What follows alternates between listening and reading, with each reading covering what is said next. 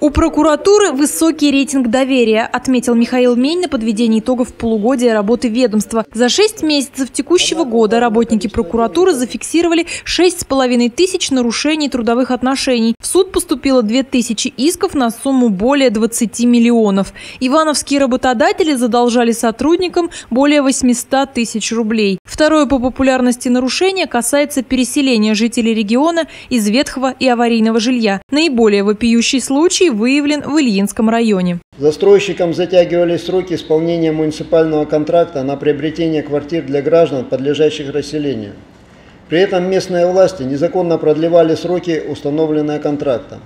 Только благодаря вмешательству прокуратуры работы по строительству многоквартирного дома были завершены.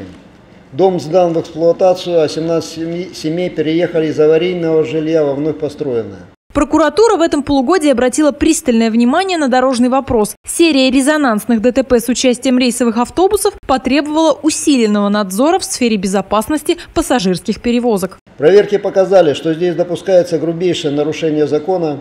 Перевозки осуществляются транспортом, техническое состояние которого не соответствует установленным требованиям. Медицинские осмотры водителей не проводятся.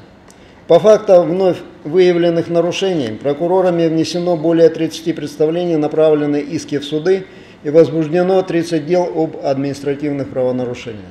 Губернатор Мень работу прокуратуры назвал продуктивной. Среди положительных тенденций отметил снижение преступности и повышение активности в борьбе с коррупцией. Коррупционер меняет свои подходы э, и э, меняет принципы.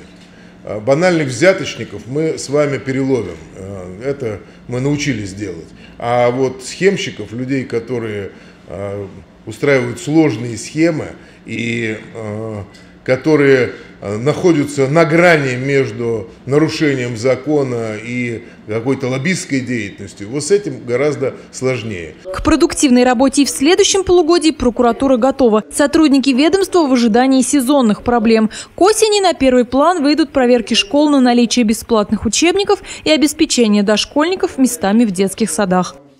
Мария Авдеева, Андрей Семиволков, РТВ Иванова.